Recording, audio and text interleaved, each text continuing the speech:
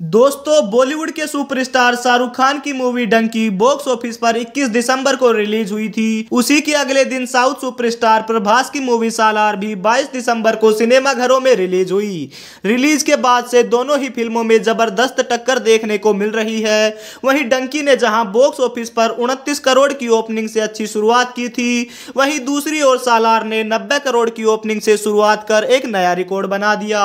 सालार साल की सबसे बड़ी ओपनिंग करने वाली वाली मूवी बन गई है। वही दोनों ही फ़िल्मों के सातवें और आठवें दिन के आंकड़े भी अब सामने आ गए हैं। तो चलिए जानते हैं कि कौन सी मूवी ने कितने रुपए का कलेक्शन किया और कमाई के मामले में कौन सी मूवी टॉप पर चल रही है। इससे पहले अगर आप प्रभास या फिर शाहरुख खान को एक बेहतरीन अभिनेता मानते हैं तो इस वीडियो को दिल से लाइक और चैनल को सब्सक्राइब ज़रूर कर लेना और वीडियो के लास्ट तक ज़रूर बने रहना। चलिए वीडियो को शुरू करते हैं। सबसे पहले बात करेंगे शाहरुख खान की स्टारर मूवी डंकी की। तो शाहरुख खान की फ़िल्म इलीगल इमिग्रेट को लेकर तैयार की गई है। फ़िल्म के कलेक्शन को लेकर देखा जाए तो डंकी ने अपने आठवें दिन ठीक ठाक कलेक्शन किया है। अब तक की मिली हुई रिपोर्ट के मुताबिक डंकी मूवी ने अपने आठवें दिन नौ करोड़ रुपए का कारोबार किया है। वही फ़िल्म ने कुल आठ दिनों में एक सौ इकसठ करोड़ रुपए भारत से कमा लिए।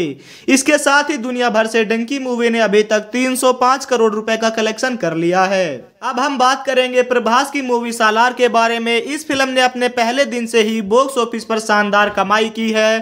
फ़िल्म दर्शकों को काफ़ी पसंद आ रही है। वहीं अब तक की मिली हुई रिपोर्ट के मुताबिक सालार मूवी ने अपने सातवें दिन तेरह करोड़ पचास लाख रुपए का कलेक्शन किया है। फ़िल्म ने देश भर में कुल 308 करोड़ नब्बे लाख रुपए कमा लिए हैं। इसके अलावा दुनिया भर में सालार मूवी का box office collection 450 crore 70 lakh रुपए तक पहुँच गया है। शाहरुख खान की स्टारर मूवी डंकी का निर्देशन राजकुमार हिरानी ने किया है। यह पहली बार है जब शाहरुख खान ने राजकुमार हिरानी के निर्देशन में कोई फ़िल्म की है। वहीं फ़िल्म में शाहरुख खान के अलावा तापसी पन्नू, विक्की कौशल और बोमन ईरानी ने भी अहम भूमिका अदा की है।